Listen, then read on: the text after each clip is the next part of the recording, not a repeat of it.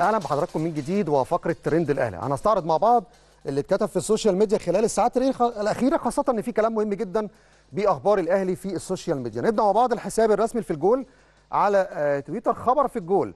الأهلي يقدم عرضا جديدا لموسيماني لتجديد تعاقده لمدة موسمين.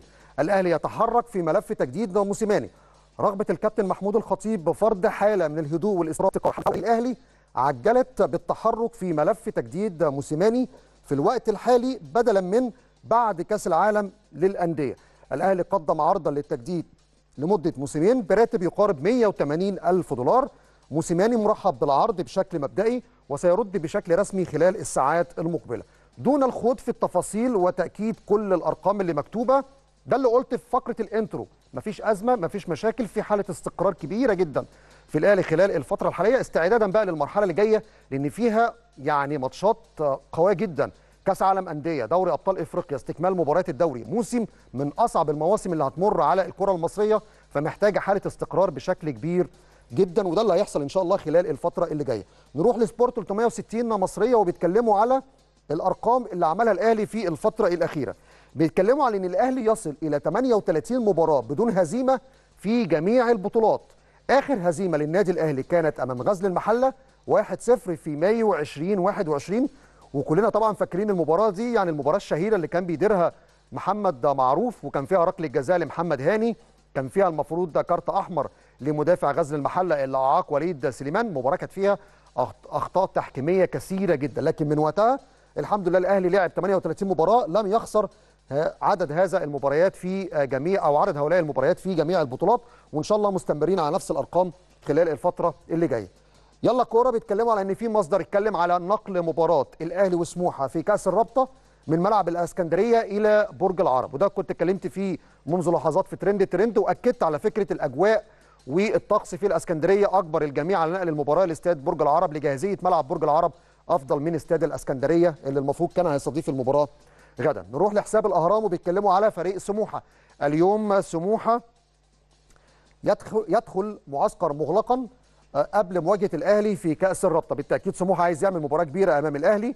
بيقوده مدير فني قدير الكابتن أحمد سامي مع مدرب الحراس المميز الكابتن أحمد ناجي. فإن شاء الله هتبقى مباراة كبيرة لكن نتمنى يا رب بإذن الله نشوف التوفيق لصالح النادي الأهلي في هذه المباراة. نروح كمان لحساب الوطن سبورت وبيتكلموا على إن الأهلي يضغط لعودة محمد عبد المنعم ويعرض صلاح محسن على فيوتشر. طيب هنا الخبر بيتكلموا في الحساب الرسمي الوطن سبورت على إن الأهلي بيحاول يضغط على إدارة فيوتشر لعودة محمد عبد المنعم.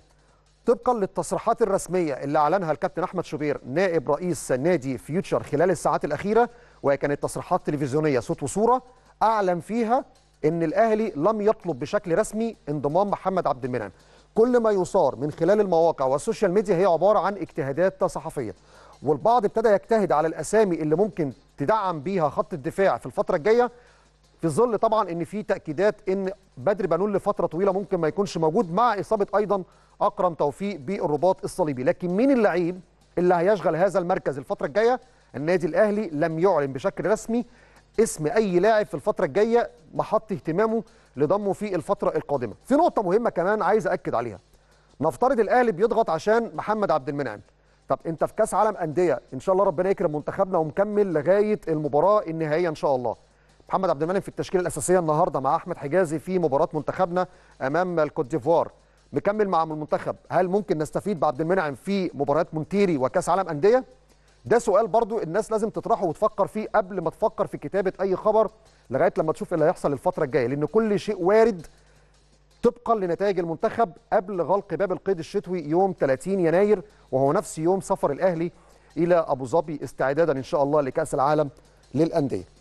آخر خبر معايا بيتكلموا على في تفاصيل عروض انتقال زياد طارق من الأهلي. الخبر على عهدة كوره بلس وبيتكلموا إن في عروض جات لزياد طارق والعروض دي من سموحة من المقاولين العرب لضم زياد طارق من الأهلي بعدما ظهر بشكل جيد خلال مشاركته مع الأحمر أو مع النادي الأهلي في بطولة كأس الرابطة اللي تمت في الفترة الأخيرة. عايز اكد لكم الفترة الجاية هيبقى في عروض كتيرة جدا للاعبي النادي الأهلي سواء زياد طارق مغربي مانو آه، محمد أشرف كل اللعيبة اللي شاركت في مباريات كأس الرابطة خلال الفترة الحالية الكل بالتأكيد هيكون ساعي بشكل كبير لضمها خلال انتقالات يناير خاصة النهارده بنتكلم 26 يناير باقي حوالي 72 96 ساعة ويغلق باب القيد الشتوي. فبالتالي مش هيكون في فرصة لضم أي صفقات الفترة اللي جاية. كانت ثلاث مباريات مهمة جدا عشان الكل يثبت إن الأهلي عنده قطاع ناشئين مميز وعنده أجيال الفترة اللي جاية يقدر يعتمد عليها سنة واثنين وثلاثه مع الصفقات اللي بيتم تدعيم بيها صفوف النادي الأهلي. نتائج متميزة قطاع ناشئين ماشي بشكل طيب وبإذن الله إن شاء الله مباراة سموحة بكرة مع المباراة الأخيرة في الدوري العام أو في كأس الرابطه قصدي يبقى فيها ست نقاط. مع الثلاث نقاط تقدر تتأهل إلى مرحلة الدور نصف النهائي أو المباراة الختامية أو مباريات كأس الرابطه اللي هتتغير إن شاء الله مواعيدها بقى الفترة الجاية وهتتلعب المباريات الأخيرة دي في شهر 6 في الأجندة الدولية. وقتها وقت منتخبنا هيستعد وقتها لتصفيات كوت ديفوار تصفيات أمم أفريقيا. في كوت ديفوار. فبالتالي النتائج الفترة الأخيرة مميزة والأهم من النتائج الاعتماد على قطاع الناشئين واللي اسفر أهو النهارده عن عرض لأحد النجوم زياد طارق. اخرج إلى فاصل وبعد الفاصل نرجع مع بعض ونبدأ نتكلم بقى على ترند أمم إفريقيا وآخر الكواليس والأخبار الخاصة بمنتخبنا الوطني قبل نص ساعة من مواجهة ساحل العاج.